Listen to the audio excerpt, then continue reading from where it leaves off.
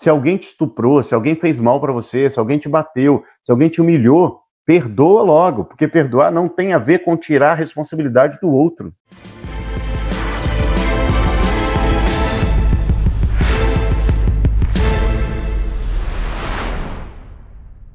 Graziela, muitas religiões dizem que para prosperar é preciso perdoar pai e mãe. Você acha isso imprescindível? Depende do que significa perdoar para essas religiões, depende do que. Eu nunca vi religião falando sobre isso, não. Eu já vi muita gente de constelação comentando sobre isso, alguns terapeutas, mas religião nunca, nunca tinha ouvido, nunca vi.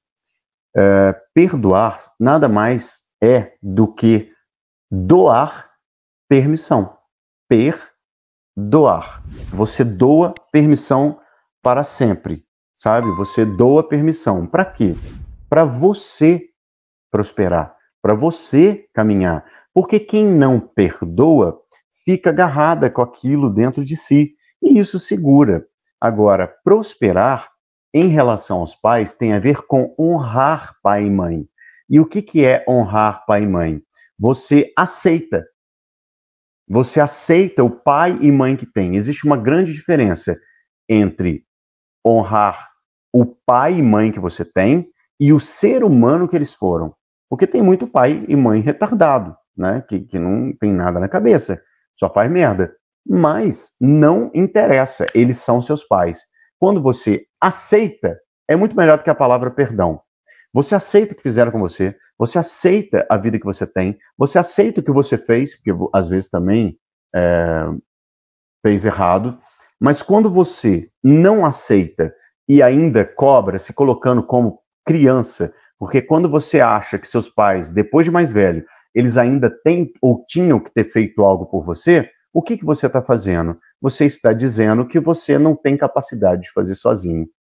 Então você está agindo como criança, como infantil. E por isso você não prospera, você não vai para a vida. Seja quando você tem raiva do pai, que é aí que você não vai mesmo, ou quando tem raiva da mãe, que aí é, um, é uma energia interna, uma energia de acolhimento, de delicadeza.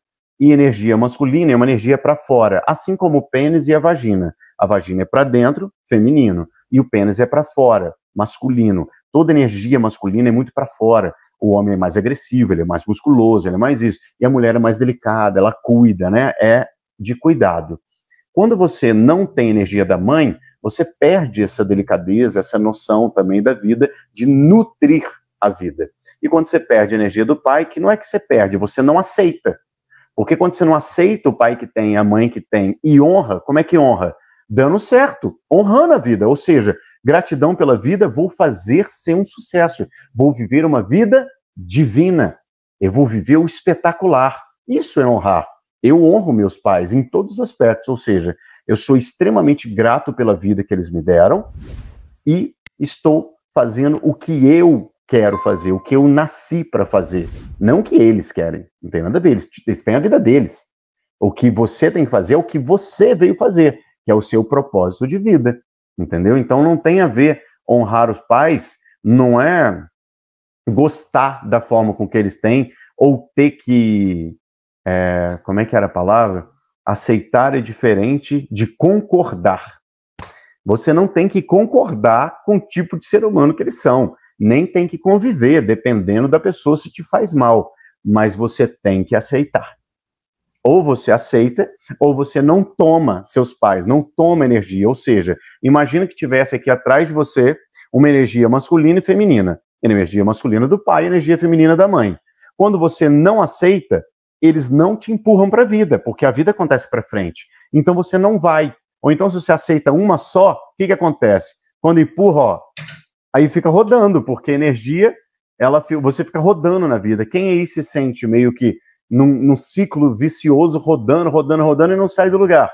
Porque não recebeu a energia, você não aceitou, né? Porque eles estão mandando. É você que não aceita, porque eles são maiores que você, já te deram a luz, te deram. O que, que é a luz? O que é dar a luz? Luz é o divino, já te deu uh, o poder de criar sua própria vida. Ah, mas meu pai me abandonou quando era criança e tal. Aí é problema do ser humano que ele foi. Você hoje, como adulta, tem condição de cuidar de si mesmo. Você não precisa dos seus pais para absolutamente nada. Você é adulto, ou deveria ser. Então, quando você aceita e honra os pais, é isso que quer dizer, tá? É mesmo, e os pais já são falecidos. Tem como pedir perdão e honrar? Pedir perdão? Ah, se você fez alguma coisa de errada, claro que tem, porque o perdão está no seu coração. Não é para o outro o perdão, gente. Se alguém te fez mal, para com esse papo de eu não vou perdoar fulano. Fulano nem sabe que você está ali. Eu não vou perdoar meu pai. E meu pai já morreu lá. Vamos supor, seu pai já morreu, eu não vou perdoar meu pai. Ele, ah, ele vai ficar muito bravo lá, rodando no caixão, né? Ou seja, ele não está nem aí para isso, e só está em você. Quando você perdoa, você doa permissão para si para ir para a vida. Você não fica agarrado com isso. Você dá permissão a si mesmo de ir embora. Se alguém te estuprou, se alguém fez mal para você, se alguém te bateu, se alguém te humilhou, perdoa logo, porque perdoar não tem a ver com tirar a responsabilidade do outro, entendem? O outro fica com a responsabilidade dele, cada um fica com a merda que faz. Então, quando você perdoa, você, ok, fez o mal para o meu corpo. Entenda o seguinte: troca a frase fizeram comigo e coloca fizeram para mim. Troca a. Fizeram comigo isso. Aí você se coloca como vítima, como coitadinha. Fizeram nada com você. Não tem como fazer nada com você, porque você não é o teu corpo. Você é um ser espiritual, então não tem como fazer nada com você. Você é energia. Você é um espírito. Então fizeram para você. E você vai usufruir disso ou não. Seja bom, seja ruim, fizeram para você. Aí você toma isso se quiser. Se você não quiser, você consegue fluir com a sua vida e a pessoa que se lasque com a merda que ela fez, porque a culpa corrói. E todo mundo que fez merda sabe que fez. Então aquilo fica dentro dela fazendo mal. Então você vai para sua vida, tá bom?